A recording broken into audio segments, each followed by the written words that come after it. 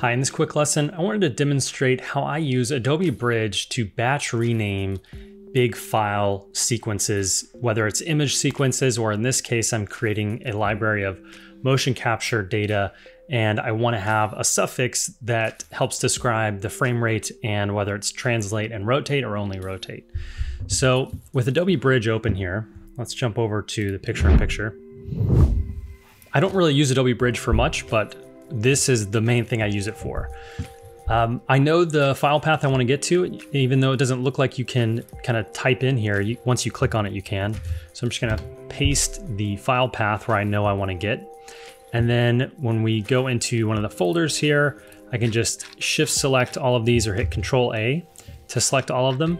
And then when I right click, I can get the batch rename options here. And then this is where the magic happens when it says new file names, and then it gives you the preview of what that's gonna be here. So in my case, I want the current file name, which you can get to from this drop-down menu, and I just wanna add a suffix to it. And of course you can subtract and add more things here if you wanted to do other things. Now, one of the most common ways I use this is image sequences when you get an image sequence and you want to bring it in Maya or something and it's a underscore frame number instead of a dot frame number. So this is a quick way to change that.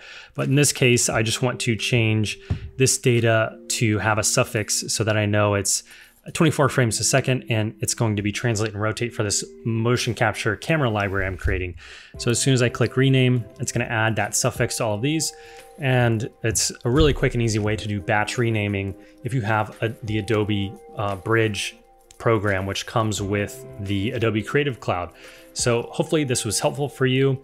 Um, find other tips like this at digitalcreatorschool.com. I teach entire courses using After Effects and other programs like Autodesk Maya. Like, comment, subscribe if you want to see more kind of quick tips like this. Thanks for watching. I will see you next time.